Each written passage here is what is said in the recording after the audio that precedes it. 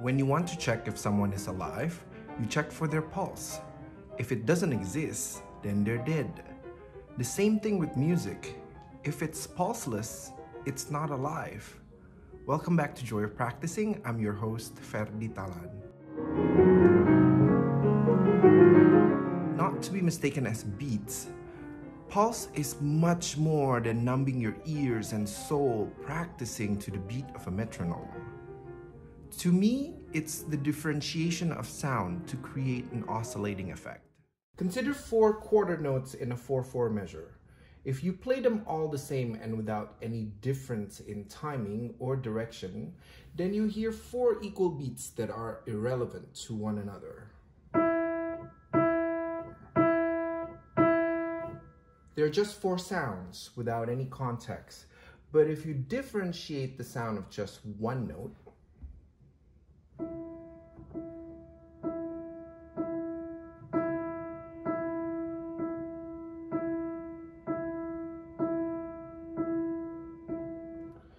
you will have a completely different context.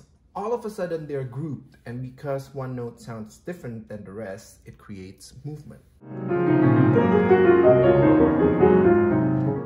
Let me illustrate with a waltz. There are many ways to create pulse in a waltz, but playing all three beats the same is not one. To give the impression of buoyancy, you want to play the first beat up and staccato. So if I use my two hands, it would be, and this is down on the second beat, and then have an active third beat that connects you back to the first beat.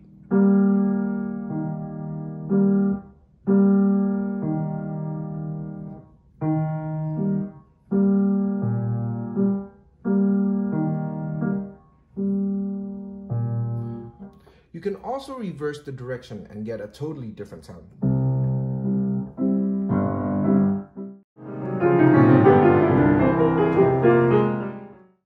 2-4, there's no other option but to make each direction different.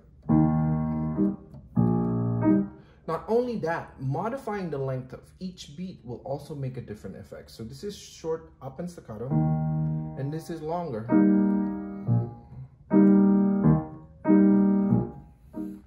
Now, to make it even smoother sounding, you can vary the pattern of every measure and do them slightly different.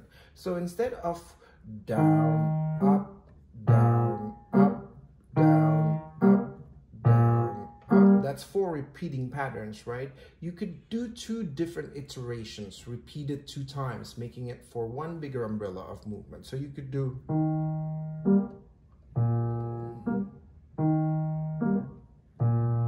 or the other way around.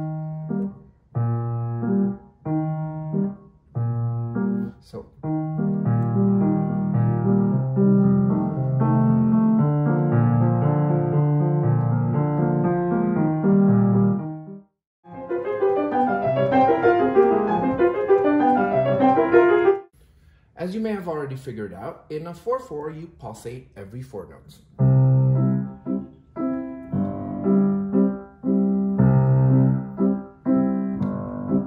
Or...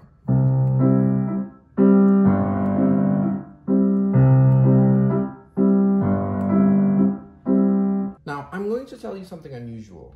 Contrary to popular belief, when you want to highlight or make a sound ring or project more, you release the tension immediately after the sound happened.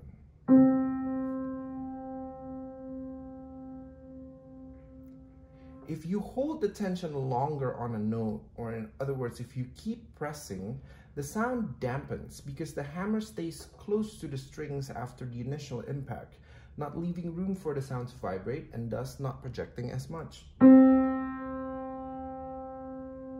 Kinda dies. When you strike the key and release the tension right away, the hammer drops, making room for the vibration to travel even more. So I'm gonna stay on the key, but I'm releasing the tension right away.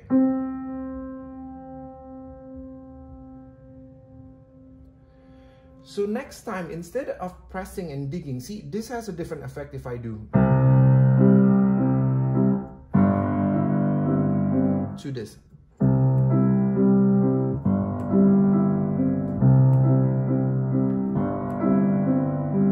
You actually hear the second one much better.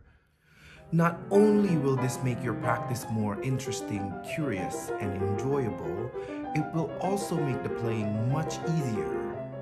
I'm Ferdy Talan. Thank you so much for tuning in. Don't forget to subscribe and happy practicing.